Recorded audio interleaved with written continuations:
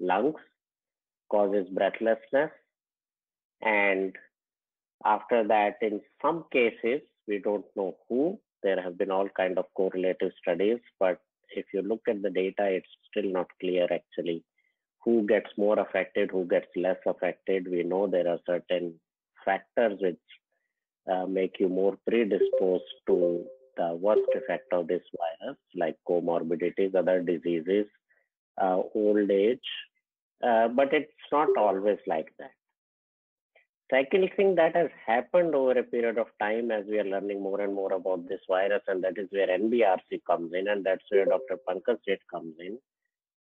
Fairly early on, there were anecdotal reports that some people who have had this virus come back with some neurological symptoms. I remember one of the earliest report was from a single patient in Japan uh, strong neurological symptoms, and only thing their doctors could say was perhaps it's because of the COVID virus. And as the time went on, it turned out that virus affects not only lungs, it can affect brain, it can affect other organs of the body. It can do a damage that actually lasts for a very long time to multiple organs of the body if you had a very severe form of it. And I'm glad that uh, Pankaj, who himself is involved in some of the work at NBRC, we have few scientists who are looking at how uh, this virus affects the brain, and he himself is interested in this and is looking at it using stem cell cultures. So, uh, as we go along, we learn more about it. And on behalf of NBRC, I welcome all of you to what is going to be a very, very informative webinar on how COVID-19 virus, which we call SARS-CoV-2 virus, affects the brain. Uh, I will not take more time. I'll just uh, say once again that one of the scientists who is working on COVID, Pankaj Seth at NBRC, are organizing this webinar. And uh, I will ask Pankaj to now introduce today's speaker, uh, Dr. Padma. Yeah, sure. Pankaj? Sure, sir. Yeah, sir. Thank you. Thank you so much. Uh, you all can hear me? Hello? Yes, sir. Yes, sir. We can hear you. Okay. Okay. So, uh, as part of the NBRC's outreach activity, today we present to you a webinar on a very important and timely topic, as uh, Professor Jain uh, suggested, on the topic called COVID and the brain. And the need for this was, as uh, was pointed out earlier, is the recent studies which are, you know, uh, very clearly indicating that there's a huge component of uh, neurological symptoms in these COVID survivors. Up to 40% of COVID-19 survivors present with neurocognitive problems or deficits of uh, the various symptoms which Dr. Uh, Padma will, uh, you know, touch upon. Now, there's also, uh, due to uh, continued information overload, overload nowadays through print and popular media, as well as uh, through by Googling, uh, there's a lot of information which is actually not accurate at times, and it's very frightening. So hence, at, we at NBRC always try to provide uh, the accurate information for the general public. As that effort, we have now requested one of the more uh, very highly accomplished and a senior neurologist from All India Institute of Medical Sciences, uh, Professor Padma Srivastava, to give this lecture uh, for, uh, you know, such as, you know, to remove the myths and give you the facts. Now, about Professor Padma Srivastava, she is one of the, uh, an authority in stroke research. Ma'am is one of the first neurologists in India who completed comprehensive clinical trials for you know proving whether the stem cells could be helpful or not way back in last almost a decade ago. Uh, Dr. Padma Srivastava completed her master's in neurology from All India Institute of Medical Sciences, where she is currently professor and head at the uh, at the neurology department. She is chief of the neuroscience center at AIIMS, a Padma Shri awardee in 2016 for her contributions into medical science. So we have a very highly accomplished uh, neurologist who will be talking to us and we're very fortunate, ma'am, and we thank you that you have agreed to uh, spare your time and help us uh, reach out to general audience for the uh, for today's important lecture. Uh, Ma'am also serves on various committees at ICMR, DBT, and DST. And uh, Dr. Padma Srivastava is fellow of uh, Indian Academy of Neurology, National Academy of Medical Sciences, National Academy of Sciences, and she her list of awards goes uh, very long. I'm not going to go into that. Uh, last but not the least, she's also honorary professor at the University of Central Lancashire at UK. With that introduction, ma'am, I'd now request you to please start your presentation. And I request all the participants to keep your mics at mute and so that you know we can uh, take your questions at the end of the talk. Please feel free to chat your uh, put your questions in the chat box, and I I will you know combine some common questions and ask those questions and get try to get you answers from Dr. Padma Srivastava. Ma'am, the floor is yours. Thank you, Pankaj, and uh, thank you, Professor uh, Neeraj. You know, this is this is a really unique uh, experience. I mean, I'm feeling honored to be amidst uh, the icons. You know, I didn't I didn't uh, really realize that I'll be in the midst of father figures and real achievers in science, and truly an honor to be uh, you know amidst all of you. And thank you, uh, Pankaj, for giving me this opportunity. So, you know, our close encounters with this new bug, as Professor Neeraj had said, is a nightmare. And we are passing through one. There seems to be no end to it. And he's also pointed out that each day is a learning experience. So it's just around 10 months that we have known this disease, and what we have learned is turning out to be uh, illusion. So it's a constant metamorphosis of illusion seeming realities, reality seeming illusions.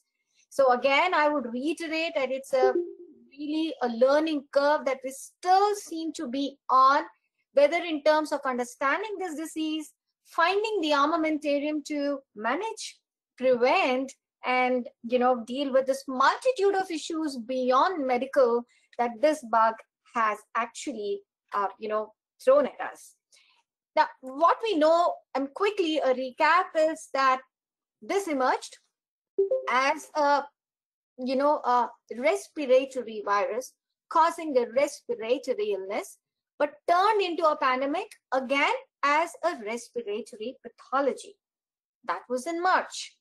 And then this, you know, a, a pretty looking virus uh, in terms of having a crown was very similar to the other coronaviruses. And there was, of course, literature on the other viruses, and there were similarities, and people quickly got down to try to find the similarities and dissimilarities and the infectivity potential about this virus. And in the original, and just imagine, this is a publication in July 2020, and July 2020 seems like a decade earlier because so much has changed in terms of even the case fatality and the prevalence of underlying cardiovascular diseases. So earlier it was thought that this COVID-19 is not really so bad.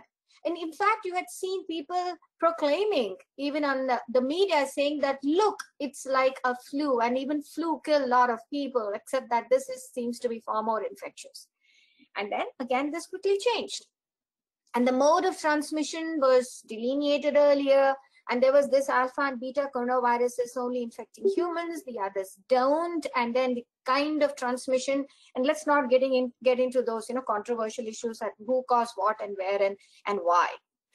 The entry into human cells again i'm not getting into the basic science. You are you know you know much more experienced and savvy about it than me. I'm just a clinician but what would I would be interested is that the spikes protein, envelope protein, membrane protein, nucleocapsid, and these issues, which have emerged as targets for both for the management as well as preventive processes. And then spikes protein is one thing which sort of figures so prominently in the multitude of the, you know, the, the quest for getting the adequate optimum vaccine and as quickly as possible. So just like, you know, time is brain, time seems to be the quintessential element in trying to combat this and, and, that's how probably some amount of compromises were also made in science per se in terms of trying to quickly get kind of you know some kind of solution to the innumerable problems and almost in, insurmountable problems that this pandemic is throwing at us now this slide is purposefully blank because every single day the numbers are changed right? So one day we feel that the graph is going down, the next day it seems to be an illusion, and again they're going up and then they're going down. So the global distribution of COVID-19, and we have this dubious distinction of sort of overtaking every other country. We are number two. Uh, well, that's where we are. Now, the clinical manifestations of this pandemic, as we are all aware, now even as a school-going child knows across the different social, economic, geographic barriers across the universe knows that this was the you know the the cluster of clinical manifestations. You had fever chills cough dyspnea fatigue and a bunch of you know biochemical markers predominantly lymphopenia and low platelets. Now this obviously was also initially rated to be something like 90% must have fever all right a large majority must have cough. And the moment there is a difficulty in breathing, that is a red flag. And, you know, the antenna goes up and then they will quickly need, uh, you know, either in quickly they get admitted and and more intensive monitoring. Now, this was a picture at one point of time, which has, still holds true. But the diagnosis of COVID pandemic, again, you know that the different stages we've been through, we still have a the gold standard being the RT-PCR, and you will have this nasal swabs being poked into the nose and to the throat. Now that still is a gold standard, but we've realized in the tertiary care centers and in all the emergency care settings that time is a quintessential issue. Whenever there is an emergency, whether it is a road traffic accident, a heart attack, or a brain attack, time is an essence you can't wait for 8 to 12 hours and in sometimes 24 hours to know the COVID status of a patient. And knowing the COVID status of a patient had become paramount importance for reasons more than one, and we'll come to that a little later, shortly. So the diagnostic, you know, the, the methods then changed, and we now routinely use also use a TrueNAT CBNAT, which gives you the you know the the earliest it can give you is a couple of hours which is also pretty good. And then a lot of antigen kits came in wherein they said 15 minutes flat. And recently i've heard that the us has now developed a point of care system. Bless them if they had. I hope it does work out because several of these antigens really didn't. We do have an antigen analysis which is applied even in in institute but that has a large percentage of being false negative. So that's a red flag. So it's positive, gives me the assurance. Negative, it does not. So that's where, you know, it, it falls in. But the bulk testing, and when you quickly need to try it, a system, these mm-hmm. antigen testing, which is available in 15 minutes flat result, will also be of help. So there are, in fact, innumerable number of groups who are still trying to get a point of care system which can give you the result in just like you have a point of care system for prothrombin time or for malaria or, you know, or glucose, what have you. So seriously, looking beyond fever and cough and the neurological aspects of COVID, ladies and gentlemen, what we have learned now is beyond the respiratory system that the one system which really emerged in COVID pandemic is nervous system. The first system which was recognized as being involved significantly has been the nervous system. And beyond that, we also now know we have cardiovascular, we have kidneys, we have gastrointestinal system, the skeletal muscular system, and what have you. But the, the first system which went, you know, which got involved or got the recognition that, look, this is happening beyond the respiratory system has been actually the nervous system. And the overview, you know, starts off with December, the Wuhan literature, and what did they say? Now, they quickly published their experience, and in their group of patients who were admitted with severe respiratory illness, you see, there are two terms which I'm sure you're well aware of. There's something, there's a, there's a thing called ILI, that is influenza like illness, that's like a flu. The other is SARI, that is severe acute respiratory illness. So anybody who was mm-hmm. coming with severe acute respiratory illness was being admitted during admission, they have seen that some group of patients exhibited neurological manifestations. So then they initially reported that it is a mm-hmm. severely affected patients who are more likely to develop neurological symptoms. And now you know that this is not true. This is not true. So you would have a mild, moderate disease. We, in fact, we have diseases who come with a neurological problem and have no evidence of flu in terms of clinical manifestations at all. So the entire spectrum is now known. And the neuroinfection may also contribute to the respiratory problem. I'm, I'm not even talking of pathophysiology of COVID-19 here because that spectrum is now really much, much wider. So originally what people thought was that because of the complaints of, you know, loss of smell, loss of taste, anosmia, ageusia, which you're well aware of, and I'll come to that a little uh, later, that this virus has gained an entry through the, through the nose, passes through the cribriform plate, gets into the brain through the olfactory system, and therefore there is a neurotropism which is being demonstrated, as well as a peripheral to the central nervous system entry point. And the other way is that through the bloodstream, especially in severely ill patients, and through the bloodstream, there's a hematogenous spread which can go into the nervous system. But what was more important is that the this invasive potential, you know, the, the neurotropism, the invasive potential of the the virus into the nerves, nervous system, into the brain, may actually have a role in contributing to the severity of respiratory failure. So it is not just the lungs, it is not just the endothelial system, it is just not the thromboembolic phenomena, but also the central drive. So maybe this itself has a you know a role to play as to why these patients quickly go into severe hypoxemia and you know have a, a sort of a spiraling effect where within few few hours you've known that in the initial uh, few months of pandemic you had actually people just dying even before you could have the time to react and and uh, you know address those issues so the mechanisms as i said before originally they thought it was directly through the peripheral nervous system into it or to the hematogenous system. But then we've also got several other explanations and I'll come to that hypothesis a little later. So what is the clinical evidence that the nervous system is involved? So the, as Professor Neeraj has said, there were initially some reports which emerged here and there and, you know, from the ENT departments, from the other departments, and you know, from the medicine departments and people who were admitted into acute ICUs, that yes, there could be some meningitis, encephalitis.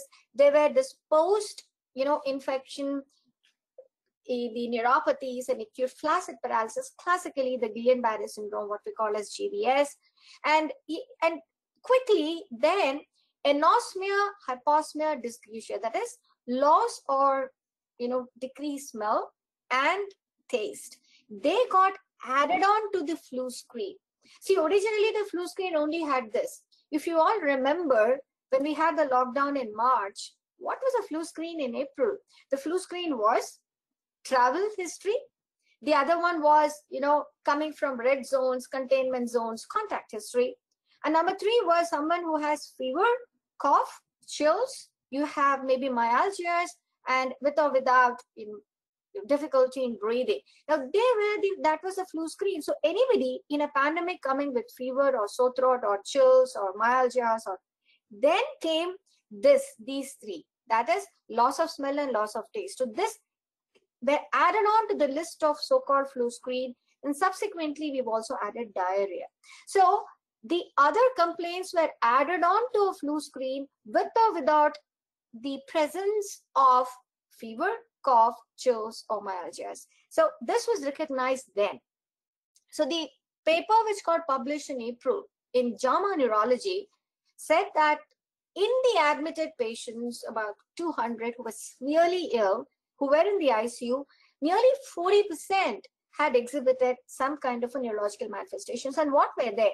They were in terms of central nervous system predominantly, some peripheral nervous system, dizziness, headache, you know, imbalance, ataxia, encephalopathy, that is impaired consciousness was all pervading. Now that was one feature which was increasingly recognized. So people were on ventilators and then they the ventilator assistance decreased. They were they were brought out of ventilator, sedation was taken out, but still the patient looked sedated. They were not waking up. So that was encephalopathy. And they tried to look into why is the patient not waking up in spite of his lungs getting better, off ventilator, off sedation. And therein, you know, there are several other features then emerge. Or they could have sudden neurological deficits like a stroke or a brain attack. The peripheral nervous system, the mild ones, you know, the mild and moderate, you know, degree of infection usually presented with ageusia and nausea. And now we have enough literature to say that the presence of loss of taste and loss of smell, in fact, were usually seen in people who had a milder disease. They improved very well. Very rarely they went on to have a very severe disease. And the recovery of anosmia has also been seen, though it may take much longer. So, but these were sort of harbingers or biomarkers to say that they reflect a milder pathology as compared to people who having severe COVID-19 illness. And of course, neuropathies and GBS were more of post-COVID or what we call as a COVID tail syndrome. That's a new terminology which has been coined, and I'll come to that a little later. And of course, myalgias, fatigue, aches and pains, which indicate that there is uh, involvement of the muscles. And in these patients, when you do a CPK or a blood test, it is elevated. And why does it happen? We'll come to it. And this is a representative slide of one of the patients, again from Wuhan, who actually developed a stroke, who actually came in with a stroke. So the CT scan showed this hypodensities suggestive of ischemic strokes. And now in our protocol, all patients with a stroke get a plain CT scan. Concomitantly, they also get a plain CT chest. And the patient did not have any fever or cough, but the CT chest revealed the typical ground glass peripheral opacities. All right. So this is a COVID lung. There are several grades to it, but this would indicate that this patient may actually have a corona infection. So these are some of those red flags which indicate that you must test for COVID. In fact, let me you know tell you in low resource settings, especially where the testing has not been very rampant, and even in our country where when we in the those times when they were not ramped up to such a situation where we're like currently we're doing lakhs of testing every day. But there was a you know that that time when we couldn't do that. In those situations it was ct chest was picking up these covid lungs which gave you a red flag. And even when they were not tested for with an rt pcr they were being managed as covid. And those kind of permutations combinations are still being done in resource poor settings now the, a bunch of biomarkers which also sort of you know, tell you that maybe this COVID patient may develop neurological features where a low lymphocyte count, in fact, a ratio of a total count to a lymphocyte count. So if your TLC is high and the mm-hmm. lymphocytes are lower, so the ratio, the, you know, the higher the ratio, the more chance, also low platelets and a high blood nitrogen. Now, this bunch of biomarkers were initially thought to be specific for development of neurological manifestations, and now it's known in the last four to six weeks that they've also seen an acute kidney injury. See, that's the reason I was telling you that we're still on a learning curve. So these biochemical markers initially indicated that there's going to be a nervous system involvement. Now we know that it basically indicates that the system involvement would be there, whether it is nervous, whether it is you know, gastrointestinal, whether it is kidney. So the, the COVID-19 has gone on to be an endothelial disease and a systemic infection. There was another report which got published from Lancet this time of 221 patients who were again admitted. And in them, five, about 6% developed sudden strokes or the sudden brain attacks, which are basically strokes. And they looked into the variety of strokes. Predominantly, they found them to be because of ischemia or a clot in the artery as against less number of bleeds in the brain or hemorrhagic strokes. And so here, out of uh, probably 17 strokes, predominantly there were, you know, uh, the the ones predominantly were those patients with some kind of uh, cardiovascular disease or without a cardiovascular disease, and we'll come to that a little later. In another patient, another report of 52 critically ill patients, here also the critically, the critical illness were predominantly seen in patients who were slightly older. Now you know that this is no rocket science, it's a no-brainer. All of us now know that there's enough literature to say that there are vulnerable group of patients who are obviously a little older and who have comorbid situations like underlying diabetes, hypertension, cardiovascular disease, malignancy, or previous strokes. So our immunocompromised. So this is a vulnerable group.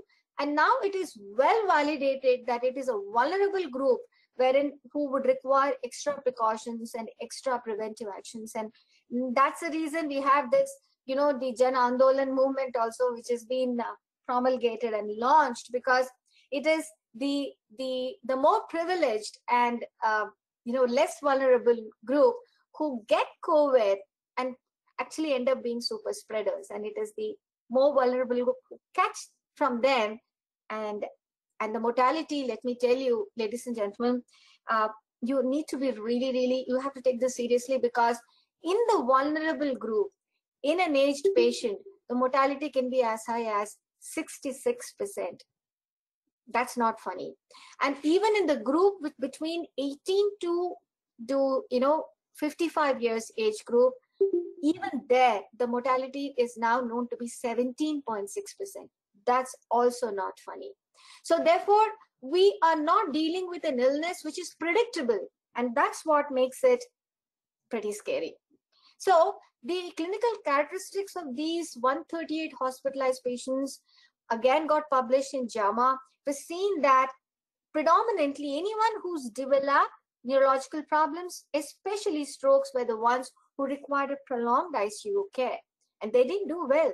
So the strokes with COVID versus strokes without COVID, strokes with COVID with all other measures being equal, the severity of stroke, the comorbid illness, etc. The one with COVID didn't do well.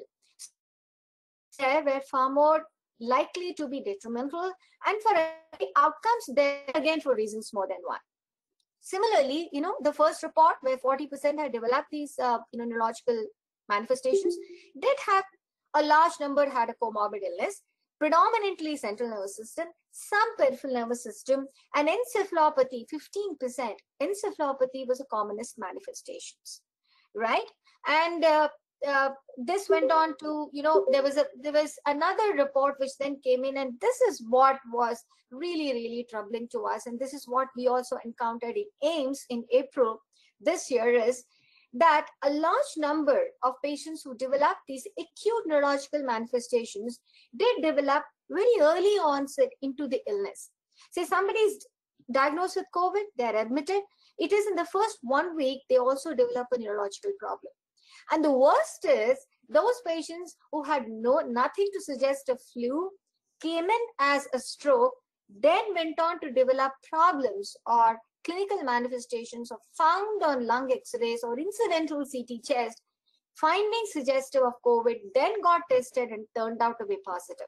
So this group is the one which sort of became spreaders because when they're coming with nothing suggestive of COVID, you're managing them as a non-COVID emergency. So you're not taking the personal protection equipment like you do when you're dealing with a COVID positive patient. So thereby you're exposed, the caregiver and the family gets exposed, the triage area and the corridors of transport get exposed, the imaging facilities like CT, MRI get exposed, the lift system, and as well as the ICUs. Now the entire system gets exposed because you don't know the COVID positive status in such individuals. So that became a problem and hence these patients became, you know, then we learned, then we, the protected code stroke mechanism started coming and uh, we've developed other you know, kind of markers to identify these. So what are those lab findings and what are those, you know, bunch of markers which actually help you to diagnose, uh, you know, uh, or I should say that point towards the presence of a neurological problem. As I said before, you have a high TLC and a low lymphocyte count, increased CRP, and also the other markers which tended towards the presence of consumptive coagulopathy. Okay, so the consumptive coagulopathy can be diagnosed by high D dimer levels. All right, so you have a high D dimer, high ferritin levels, which means that we are getting into a system where there's consumptive coagulopathy. There could be thromboembolic phenomena, which may be involving not just the brain, even the respiratory and other systems as well.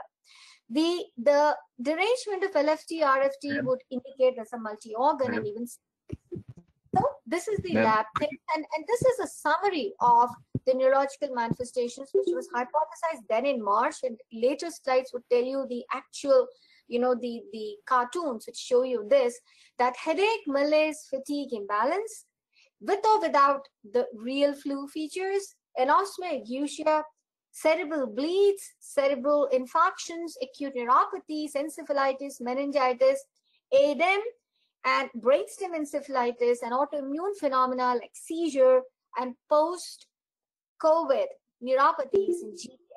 They hypothesized. Dr. Padma, could you could yes. you, Dr. Padma, could you break out this some of these uh, words into common latent uh, words? You know, uh, something like um, hemorrhage and that level. So because we have a mixed audience, this lecture is okay. very very useful for all of us. Yeah. But some so, maybe. Yeah, I will try. I'll try. Try. Try. Thank you. Thank you. Okay. So, I, I, mean, the hypothesized reasons were that there are these receptors called angiotensin converting enzyme 2 receptors. And you must have heard of the, you know, the initial controversy about should I take ACE2 inhibitors for my hypertension? Should I change it? So these receptors were actually seen to be present in the entire body, whether it is in the brain and the nerves and the muscles, in the gastrointestinal system, in the heart, so they wherever these receptors were present, that's where COVID-19 could eh, get entry point into the body. So therefore, it was not just lungs. Wherever these receptors were there, you had an entry point for COVID-19. So therefore, it explains why the nervous system got involved. Secondly, what would you what would be the proof to say that yes, this virus has gone to the brain? That would be when you actually open the brain and look for the viral or what we call as viral signatures. Now we have some evidence, a very limited autopsy, you know, uh, results that we know of. But however, it's now been proven that these viral signatures, that means particles of this virus, were actually found in people who died of COVID-19 pandemic in their brains. So we now know that it enters the brain. And the second is you know of CSF, the cerebrospinal fluid, or doing a lumbar puncture, taking the fluid out and looking for viral signatures in this fluid. People could demonstrate that. So now we have the proof that this virus enters the nervous system. And we've already talked about how through the nose it can enter the brain. That is a retrograde method of peripheral to central spread of the virus. And we've also seen that Low lymphocyte count means that the body immunity is low. Whenever there is an immune suppression, then it is seen that any infection, whenever the immunity is low, you get predisposed to infection and the infection turns out to be severe. That may be happening. And it is also said about consumptive coagulopathy. Now, what is exactly meant by consumptive coagulopathy? The blood thickens. It has a greater tendency to form into clots. And that can be because the mechanisms which actually maintain the fluidity of the blood are they go into disarray. And that is borne out by certain tests, which are, we call as biomarkers, like D-dimer or ferritin or low platelets, you know, things like that, wherein there is both a tendency for bleeding, tendency for clotting. This is called consumptive coagulopathy. So that may be one of the reasons why there are heart attacks because the heart vessels are getting blocked or brain attacks because the brain vessels are getting clogged. And because these receptors are also seen in muscles, Therefore, you get this muscle aches and pains, what we call as myalgias, and that can be borne out for the fact that there is a blood biomarker called CPK, which increases whenever there is a muscle injury or muscle involvement. Infection, you see, the infection produces, you know, most of you have heard of what is called as a cytokine storm. In fact, I, you know, we get keep getting these questions even from complete lay public uh, on portals like uh, Delhi uh, on, on Doordarshan. You know, they're saying that we've heard about what is this cytokine storm and interleukins, and we're giving this tocilizumab as one of the armamentarium that we have to manage a severe infection. So the cytokines are body defense mechanisms. It's like the war, the virus is invading us, there is a war, and we have our own body systems of fighting against the virus. And that system includes cytokines. But unfortunately, you know, whenever we, there, there is a confined space and there is a somebody who is firing at you, so you fire back. So when you're firing and supposing you put a bomb there, the bomb is a great big armamentarium, but when the bomb explodes, you're also there, you'll also be affected. So that was happening to the body because these cytokines were actually acting our own systems as well. They're big defense, but they could be offensive to your own system. Plus, as I said before, encephalopathy, that means becoming altered or staying sedated, not waking up, remaining in coma could also be because of multiple other, things. You heard of hypoxia. You heard of happy hypoxia, wherein the oxygen saturation falls, you don't even know. Suddenly the saturation is so low that a very rapid coma sets in because of acidosis, because of organ dysfunction and sepsis is where there's infection which has gone into the bloodstream. And also because of multitude of medications. You heard of this thing wherein people are, you know, prone.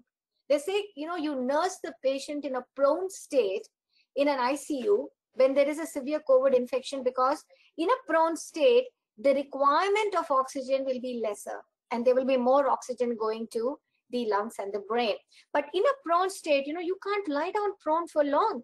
So patient needs to be sedated. And when the patient is sedated, the patient doesn't wake up and you assume it to be an encephalopathy. So there are a lot of situations wherein it can contribute to the patient being sedated and said to be in coma. And in originally, when they looked at all the brain attacks and they documented and they found that except one person who was little younger, mostly they were all older individuals. And they were mostly, as I said before, the artery had got clotted and not the artery breaking up and causing bleeding. But then the heart involvement became known. And it was seen that the heart muscle can be involved in terms of direct infection of the muscle called as myocarditis. It could be injured. It also could be because of the fact that the rhythm, the heart rate variability, the heart rate could become suddenly irregular, can suddenly go down and suddenly stop. In fact, sudden cardiac deaths have been noted, and also the atherosclerosis, or you know, the bad fatty things which get deposited in the arteries, they could get destabilized and they could actually break off into little little clots, go up the bloodstream and clot smaller blood vessels. And that could happen in the heart, it could happen in the brain. Heart and brain are intricately related because heart is pumping. It's a basically a pump. It pumps up the blood. It doesn't do its job, then no blood goes anywhere. And the blood doesn't go to brain, it lands up with a brain attack.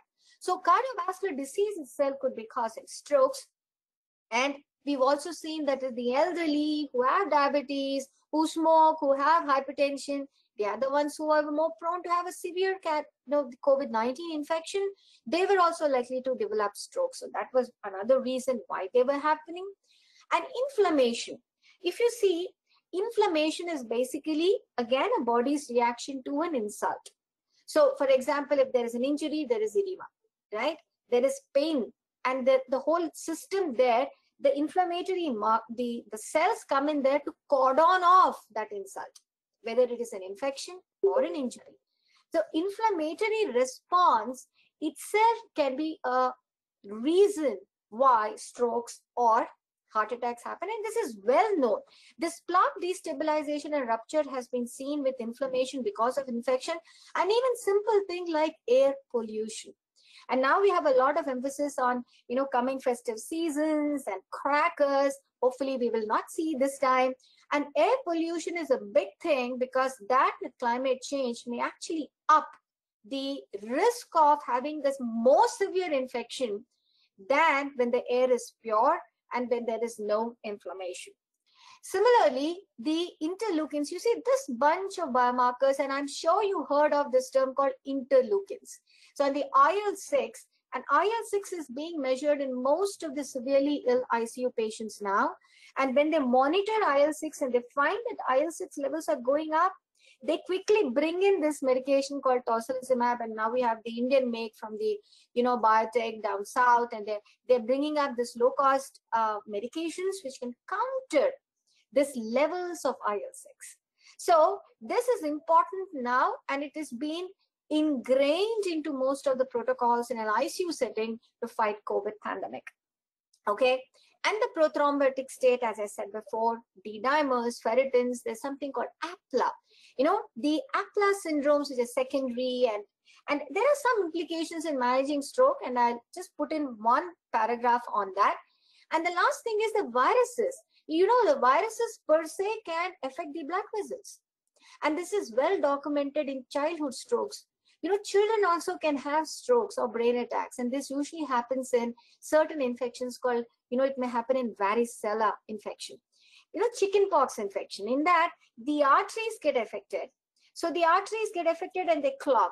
And this is a well documented thing in children who present with stroke. So they thought that maybe this virus this covid is also implicating directly a blood vessel and thereby it is causing strokes. We don't know but arteriopathy was one so this is a, a basically a table.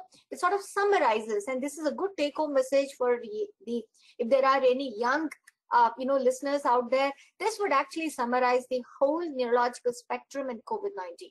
So you can have an encephalopathy, encephalitis, you can have meningitis, you can have stroke. You have this minor features like anosmia, the loss of smell, loss of taste, or acute demyelinating encephalomyelitis, Guillain-Barré syndrome, which is acute paralysis of the whole body, muscle injury, presentation like coma, or you have just headache and neck pain, or you can have a sudden paralysis, loss of taste, loss of smell, or flaccid muscle weakness or paralysis or severe aches and pains. The diagnostic tests which are required are listed here and the pathogenesis. So this thing sort of summarizes, and there's another one here in which, which gives you even more information that COVID-19 can affect the nervous system because it's involving the whole body. Because it is a systemic disease, it is causing, you know, what is called as low oxygen and metabolic features. It is causing clotting across the body and even in the lungs, even in the kidneys, and it is causing this inflammation thereby, you know, you heard of this Kawasaki-like syndrome, which is described in children. So this is all because of the system involvement or directly invading the brain, directly invading the peripheral nervous systems of muscles and thereby causing problems. And most important is this COVID tail. Now it's called a COVID tail because COVID is gone, but beyond COVID, after this infection, you develop this Guillain-Barré syndrome or acute neuropathies or acute paralysis. And what is more scary is this degenerative diseases. And this is where you have now a global initiative consortia which are looking into what are called as a development of cognition memory behavior mental health issues and degenerative diseases like alzheimer's dementia and parkinson's disease. Why because the involvement of the brain, especially through the nose and through the olfaction and causing loss of smell. And ladies and gentlemen, it is known that loss of smell may be a harbinger of development of degenerations like Parkinson's disease and dementia like Alzheimer's. And so now we have, in fact, literature which has documented on an MRI certain areas of involvement and doing functional imaging in terms of say a bold mri or even diffusion tensor imaging looking at the tractography looking at the involvement of parenchyma in terms of the glucose uptake or in terms of you know the blood perfusion scans certain areas are being mapped out wherein there may be viral persistence or signatures of a sequelae or damage which may be actually cascading some events ultimately leading to the set of degenerative diseases. And so this is what is hypothesized and is being looked for. But of course, mental health issues is not only because of a viral infect, viral invasion. You know, there are multitude of problems. Today, just today morning, we have, you know, turns out that today is the, you know, the, the World Palliative Medicine Day. You know, the and, and palliative care is such an integral part of, uh, you know, managing entire disease spectrum, you know, irrespective of the age of the person. And, and then we had talked about in the triage, in people who are desperately ill, in people who have recovered, because the issues are not just an infection, the issues are stigmatization, issues are of the concerns of infection to self, to the caregivers, to the family, to the society, how society is looking at the whole system. They're isolated. So being in isolation facing the stigma. And in the mild and moderate even in covid survivors the problems of lockdown problems of societal economic geographic cultural you know there's so many issues which are ingrained into this pandemic. All of them have great implications in mental health. So these are the things which are unique probably to this pandemic as against others. So the last part of my talk is managing a non-covid emergencies. You see covid pandemic when it actually you know, came in and when we had a lockdown and then we started opening up, what was happening? It was just COVID and COVID and COVID. Every institute being modified into COVID center, including hotels, including stadia, including wherever. So the triaging was just COVID. It was just SARI and ILI. So what was happening to heart attacks, brain attacks, cancers? Where would they go? So the initial lockdown meant that there was no transport. People were confused. People were scared. People were even, you know, wondered where to go, how to go, whom to approach. And even if they did go, would they be entertained? And the severe fear of getting infected, getting into a clinical care system because there was always a mixture of COVID people coming in there said that initially what had happened was there were lesser number of strokes documented, lesser number of heart attacks documented, and obviously the road traffic accidents disappeared when the during lockdown. Lockdown opened, we are back to square one. We have enough trauma now. So the trauma also comes in, cancer comes in, heart attacks come in, brain attacks come in. What do you do? They are all time sensitive. There is a golden hour for all these patients, COVID or non-COVID, a blocked artery has to be unblocked. That stays. So therefore, we developed protected code mechanisms like a protected code stroke and region specific algorithms. Like say, for example, there is a patient coming to AIIMS emergency. Now in an AIIMS emergency, you get a influenza-like illness, you have a respiratory illness, you also have a person coming with a brain attack and a heart attack. And now we know that these brain attacks or strokes may come in without any flu symptoms. They just come in as a stroke. So the stroke may be without COVID, stroke may be with COVID or suspected COVID. So what do you do there?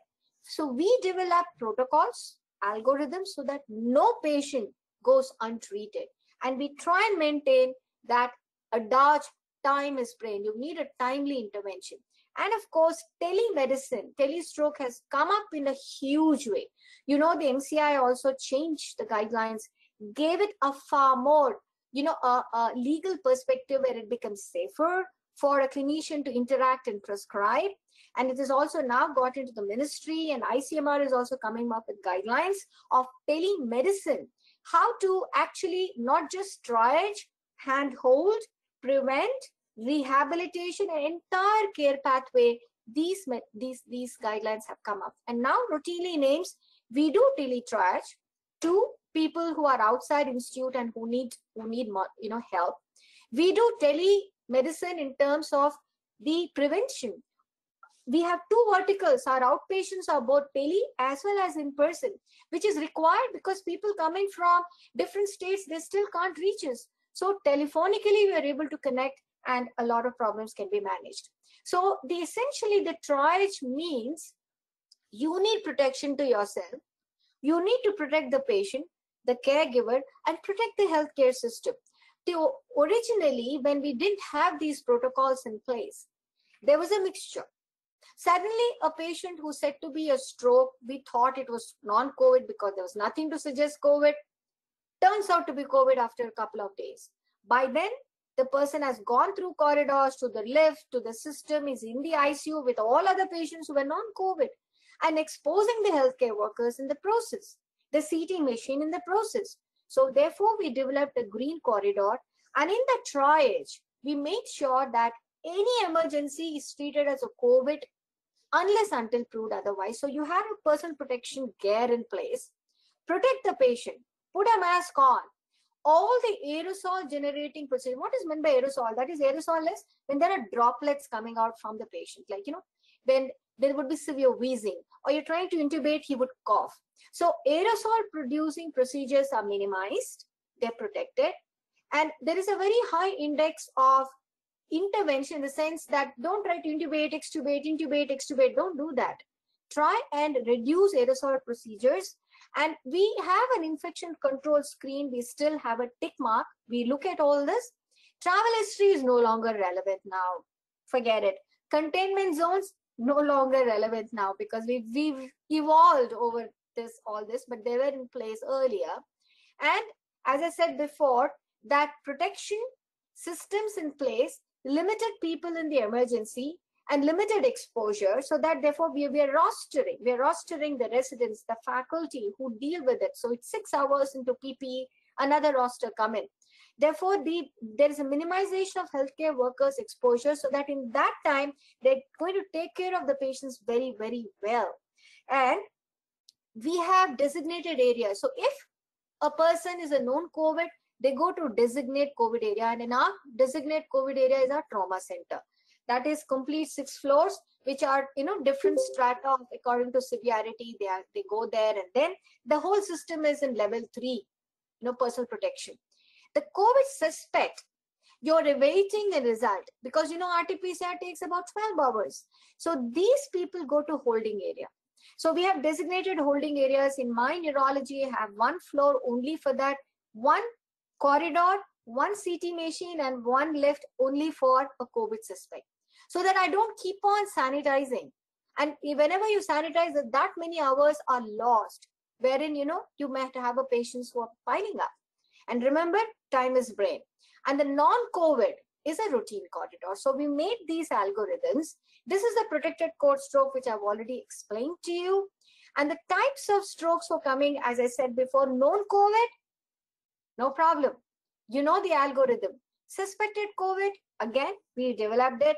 And undiagnosed COVID are the ones which we have clubbed into suspected COVID. So only when they're totally negative, five days in the COVID area, in the suspect area, and they are negative, then we transport them to a complete non-COVID area. Because otherwise, there's a mixture of patients and there will be a lot of cross spread and they become super spreaders. And in an acute stroke, say classic example of an artery being blocked, whether it is confirmed, suspected, or an asymptomatic in the sense, the infection may be a incidental because the infection is now a pandemic. A lot of people are asymptomatic, and you heard of this. They're asymptomatic, they don't exhibit anything, and they may actually have a stroke, which is because of another reason, not because of COVID. And when you test, it is COVID too because they're asymptomatic carriers. Or it is suspected, you know, the COVID is actually causing it and of course confirmed where it is there. Any of these, the management is the same. Have your protection in place and unblock. And how do you unblock the artery? Giving the intravenous clot lysing drug. So we're routinely doing this in AIIMS. Our intravenous thrombolysis rate is routine, about two to three per week Originally, we used to do one every day. Now it's not that much. And the mechanical, which is in the form of an angiogram. So any intervention in terms of angiography, like, you know, you have the DSA. where you put in a catheter, look into the arteries. Any intervention we do CBNAAT, TrueNAT, two hours after the eh, result, you know, in two hours we get a result. The result is negative. Then we take to DSA in neurosciences. If it is positive, they go to the trauma center, COVID designate, and they get managed there. Similarly, for all the surgical procedures in stroke. So the algorithm rhythms remains the same except protection processes, definitive corridors have been designated so that there is no, you know, cross spread across the different health systems. So that's a protected code stroke and there are different, you know, the these things are picturesque, they're visually impactful. We, we actually display them in the triage area so that everybody is aware. You heard of, uh, you know, something called multiple sclerosis as well, autoimmune diseases. That's another thing which has come up in a big way. We brought out guidelines for India for management of stroke, which is a statement, you know, for in COVID pandemic. This we published in May 2020 in Annals of Indian Academy of Neurology. We also brought out how to manage young patients coming with multiple sclerosis and other demyelinating diseases. These are the other ones which come up suddenly and they strike young people. And in here, immune suppression is a very important criteria. So we brought out that. And then this is all our experience in the last six months of dealing with COVID pandemic and neurological problems, especially stroke. Now, ladies and gentlemen, interestingly, the first two strokes we documented who were COVID positive were both bleeds in the brain. The blood vessel broke and they had bleeding. One patient was a 65 year old who was not a hypertensive, no flu screen, denied any containment zone, came up with sudden onset of hemiplegia, that is one side not working in the morning. The son brought him. There's nothing to suggest COVID pandemic there, nothing to suggest a COVID infection there. And the CT scan showed a bleeding. So we took him to the ward. Then two days later, he developed fever, cough. And then when, when we did the, uh, the you know, RT-PCR, it was positive. So then he was shifted to the trauma center. The second patient was a 55-year-old man. He was a hypertensive, but well-controlled blood pressure. And he also came in, again, no flu screen, no contact. He was an educated person, no travel. And this was in the month of April and he also turned out to be COVID positive. So these were the, in fact, these two cases we reported in May 2020. These were the first stroke cases reported from India in COVID pandemic. We also wrote up about our hypothesis on whether stroke was incidental, triggered, or causative. And in the Annals of New, New York Academy of Sciences, we brought out this paper on the what's happened to brain attacks, and this probably could be extrapolated even to heart attacks during the pandemic and the challenges. If, if we had an epoch, say, uh, the same year, same time, last year, how many strokes were there? Same time this year, the strokes sort of decreased by almost two thirds.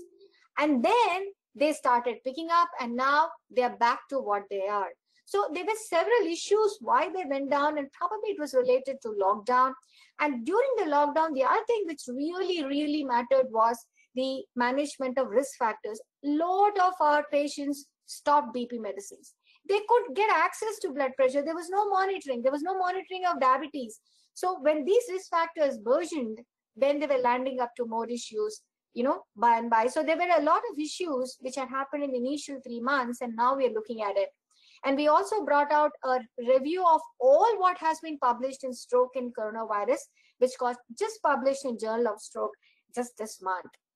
So the implications here are when we are looking at the manifestations beyond respiratory system, beyond lungs and breathing problems, the issue is their presentations are challenging unless you have these antenna up, unless you're aware that COVID can also present with a neurological problem. It can present with a cardiac problem. It can present as something else, as just diarrhea. You won't even look for COVID-19 there. And both clinicians as well as patients may ignore it. And that you know becomes another problem. And then please remember that a lot of them want to ignore also because they get socially isolated. Somebody comes and puts a big you know sticker there that this patient is corona positive and the whole society sort of ostracizes them.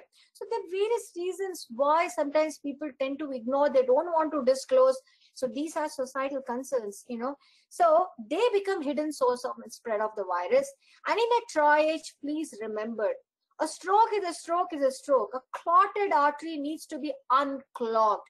COVID or non-COVID, and we now have algorithms in place. So please, if there is anybody known to you who's developed a stroke or a heart attack, tell them they have to rush to the hospital. They should not wait. They should not fear because now there is a clarity and I know for in AIIMS at least that we are all dealing with it. Okay, so the missed or erroneous diagnosis is a very important thing because it can lead to disastrous results. Why? They become super spreaders. And now you know that if it spreads to the vulnerable, it has a 66% you know mortality and please never ever give up on your you know anything pandemic or no pandemic thank you